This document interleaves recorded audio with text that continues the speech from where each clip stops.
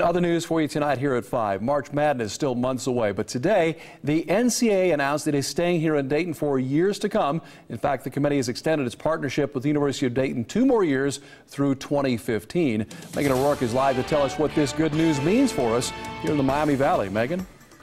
Well, Mark, the answer to that is simple money. Folks on the local organizing committee tell me the First Four not only brings millions of dollars into our local economy, but it also thrusts Dayton into the global spotlight. And that's why they tell me the only thing that could make today's announcement any sweeter would be a more permanent commitment. They call it the big dance, and for at least the next few years, Dayton's going to be first on the floor. NCAA officials have committed to keep the basketball tournament first four games at UD Arena through 2015 good news, but not great. And we will continue to uh, press and say that this should be uh, the long-term home of the first four. University of Dayton officials, along with local committee members, say they think Dayton deserves more.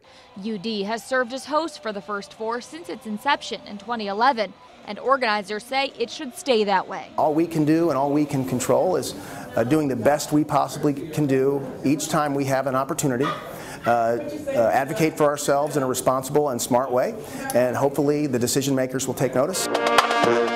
Part of that's finding a way to keep the first four fresh. Last year, the committee held a festival in the Oregon District to kick off the event.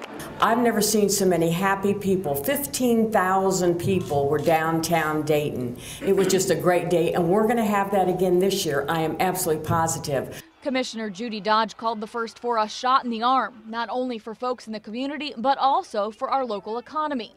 It's estimated the 2012 First Four tournament games brought $4.5 million into our region through hotels, restaurants, and retail shops. Once you get people here, they realize how great Dayton and the Dayton region is as a community, uh, and it's going to you know encourage them to come back. So it's a, it's a huge impact from a financial standpoint and also you know from a uh, quality of life standpoint in the region.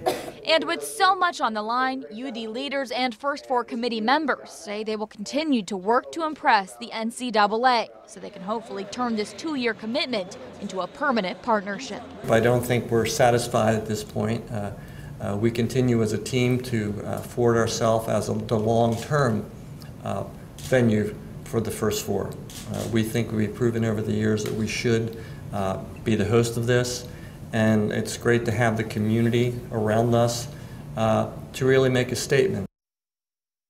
Now to date, UD Arena has hosted 91 NCAA men's basketball tournaments. That's eight more than any other venue, including Kansas City's Municipal Auditorium, the original home of the tournament. Reporting live, Megan O'Rourke, 2 News.